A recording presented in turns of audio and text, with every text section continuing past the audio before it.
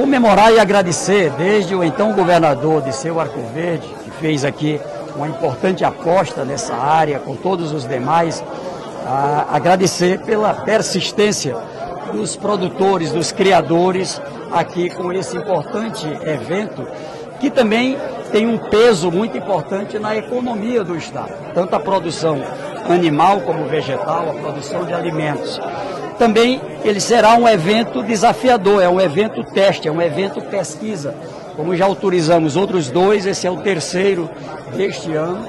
Os outros dois com bons resultados, ou seja, não teve alteração em transmissibilidade, em adoecimento e nem óbito, e esperamos a mesma coisa aqui. Também eu destaco, é um evento nacional. Agora teremos, é, mesmo nessa conjuntura, 18 estados participando e vai significar melhoramento genético. Termina o evento e fica mais conhecimento, fica é, melhora no nosso plantel, a movimentação esperada acima de 40 bilhões de reais em negócios durante este evento, isso é importante para a economia.